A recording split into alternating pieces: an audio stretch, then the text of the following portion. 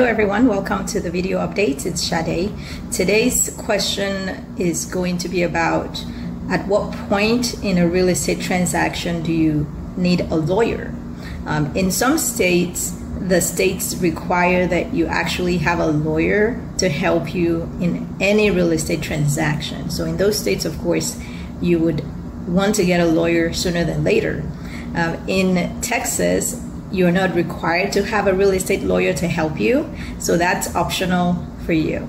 So I get a lot of questions since I'm in Texas um, regarding when do I need a lawyer to look at the documents, or when do I need a lawyer's opinion or a lawyer's uh, set of eyes on things.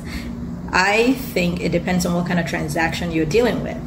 If you're an investor, for instance, you probably have a working relationship with a real estate lawyer already. And if you don't, you should, because a lot of your deals are going to be structured in a unique way or an unusual way from the typical buy sell agreements.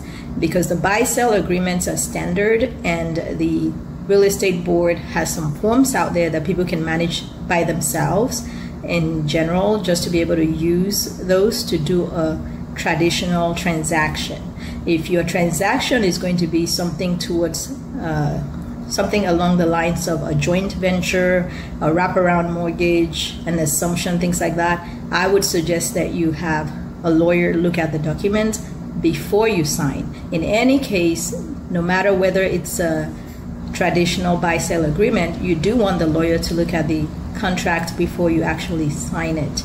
The reason being that once you've already signed it, it's sometimes more difficult to back out, and you have to pay the lawyer more money to be able to figure out ways for you to back out. Okay, so always start from the beginning if you have questions. If you have a realtor involved and your realtor is very good, the realtors can help you with most of the generic um, questions about the rights and obligations of a buyer, a typical buyer, and a typical seller, or uh, the rights under your particular contract.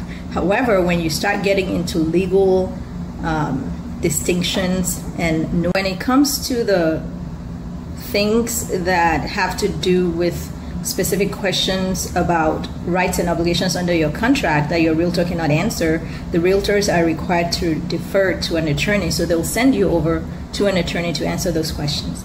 The other time I think you will need a lawyer is when you get to the point of a title commitment, which is the document that would eventually turn into a title insurance policy for the buyer.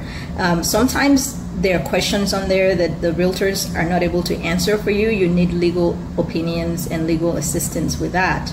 So the lawyer would be able to jump in and address those issues. Um, a lot of the times there are objections to your survey or objections to the title commitment that the buyer has. And so you need a lawyer, whether you're a buyer or a seller, when it comes to that, if there are issues that pop up.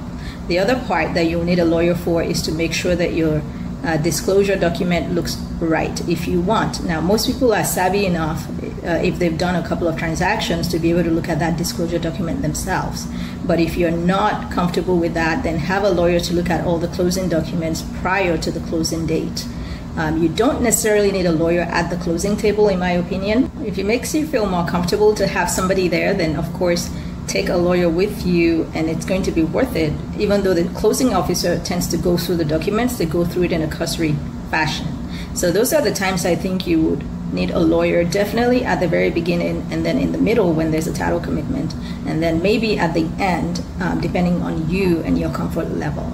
Uh, in other situations where you'll need a lawyer, of course, like I said, is if you're on the um, seller end as well and working with an investor if you're on the seller end and an investor approaches you to purchase your property, then you should get a lawyer because those deals are very different than the normal deals. And I hope these tips are helpful to you. That's all I have on this particular topic. Uh, if you have specific questions or whenever you're in doubt, always consult with a lawyer.